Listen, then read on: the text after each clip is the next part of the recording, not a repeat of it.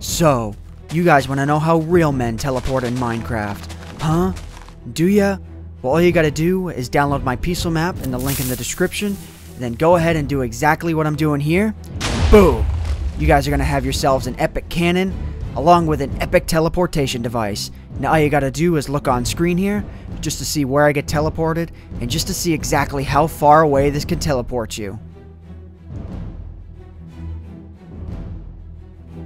Boom! I landed on 80 on the z-axis. But you guys might be wondering, Ant, exactly how far away is that? How far away did the Ender Pearl go? Well, you gotta see, right here. I threw the Ender Pearl from negative 153 on the z-axis, which equals 223 meters.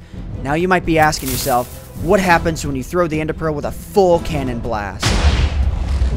Just exactly what you just saw on screen there. In fact, the Ender Pearl got launched so far that it got launched outside of the loaded chunk, so I had to fly towards its landing spot in order to actually see where it landed.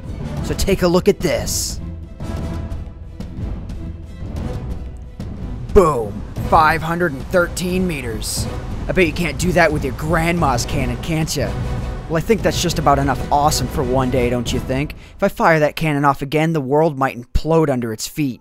So I'm gonna go ahead and I'm gonna call it a day from here, guys. So hope you all have enjoyed this video. My name is Ant Venom, and I bid you all farewell. Thanks so much for watching.